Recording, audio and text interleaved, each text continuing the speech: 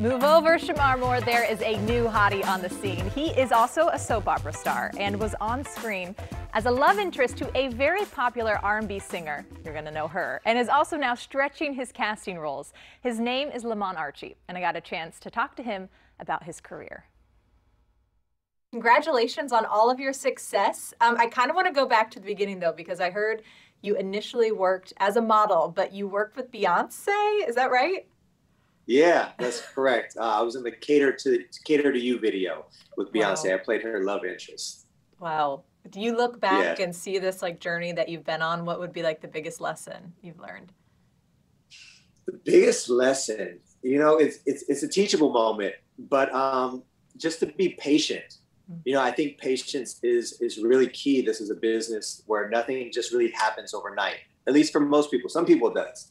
Uh, but for most people, it doesn't. And, you know, patience is really something that you have to have. You have to be driven. And, and that would be the one thing that, that, that I'd say for sure patience. I Because you spent about a decade doing soap opera, operas as well, right?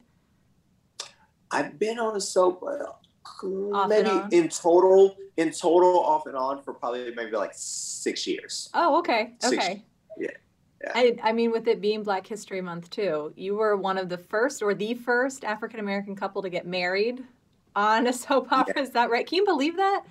Uh, well, on Days of Our Lives, we were the okay. uh, myself and Sal Stowers. We were the first African American to get married on screen. They did have an African American couple that was married, but they were married off screen, so the fans never got to see oh. that. So for us, we were the first one, and also we got to um, include a little Black heritage. We got to jump the broom on the show as well, oh, so that was really great. Yeah, oh, something oh, we were great. very proud of. So now, I mean, I'll take you to present day now because you're on All American on CW. Yes. Um, but you're playing a villain. How do you feel about that? I love it. You know, it's, it's one thing. Yeah, on days I'm totally cookie cutter. Uh, yeah. uh, so it's good to just go complete opposite of that and just play the, the, the guy that no one likes, you know, and everyone has has an issue with. And you know, one thing I really like about the villain, usually with with villains, whatever they're trying to accomplish, whether it be usually it's it's going to be bad, but in their mind, they wholeheartedly believe that they are fighting to make things better for themselves, for their people, or what, whatever it may be. And that that goes um, to say with D'Angelo Carter, you know, in his mind, he is fighting to make things better for the school. Mm-hmm. It's just not the way that everyone else wants it. Yeah, that makes sense. And I'm sure when you're trying to frame a character and how to play it, understanding that side's pretty important, I would assume. Very much so. Very much so. For people who haven't seen All American yet, tell us what is it about? So funny. It's always hard for me to. Is it?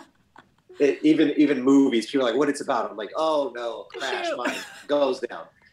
um, you know, it's it's. I'm gonna do my best here. It's about okay. a um, an inner city, um, a, a, kid in the inner city who is a football star, and it just basically deals with a, lot of event, life, real life events that are that are going on, and, and how this kid who's a football star is able to maneuver the the drama, the family drama, the the school drama, life drama, and things all in between and and also love you know high school love and things oh, like wow. that is really something in this show for everyone to watch it's not just you know for high school kids so um yeah you know and there's a lot of other great characters in this show that that um you know help help along the way and you know it's it's really something that i would say is for everyone with football you know football being one of the things at the core that that drives it so football fan check it out as well. Absolutely. You did a great job with that. You're ah, great uh, at describing it. Um, I also have to ask with the pandemic, I am assuming that doing things with your career is very hard right now. How have you been? You know what? It was it was really tough the first six months when everyone was on complete lockdown. Um, since then, I would say I think it's been sep- September that we got back to work, yeah. and I would say the tough thing is is of course we're tested every day, even some day, some days when we're not working. Uh, before I, I, can't even walk on set without a negative result. We kind of do about a two hour uh, test. We started off with rapid.